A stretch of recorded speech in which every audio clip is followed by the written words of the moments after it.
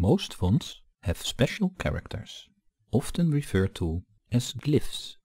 In this lecture we will install a glyphs file, which will serve as a glyphs panel. With the file you can quickly find a special character. Download the file that comes with this lecture, called glyphs.xcf. I am going to place this file in the 2.10 folder and I will create a new folder called glyphs. I place the glyphs file in the glyphs folder. I go to GIMP and go to File Open. I navigate to the glyphs folder and I will bookmark the glyphs folder. The glyphs file is now ready for access. I have opened Arrow Glyphs. It has a text layer with the text arrow. I double click on the text layer.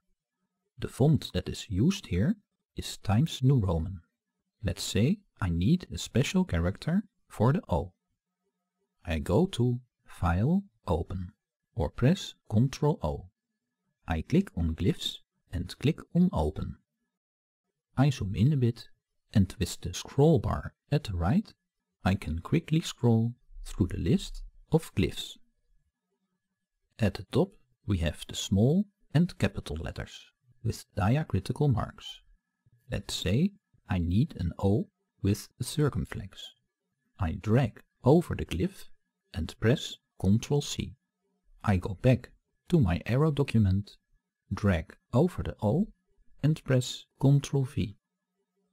Let's also insert a bullet point.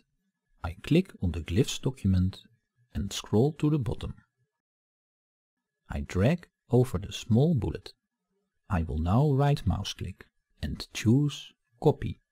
I go back to my arrow document, click in front of the A, right mouse click and choose paste. If I want a larger bullet, I can choose the larger bullet at the right.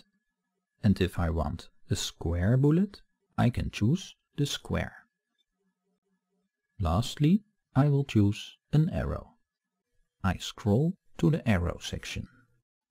I select an arrow and copy it. I go back, click behind the W and paste the arrow. In the next lecture we will look at blending modes.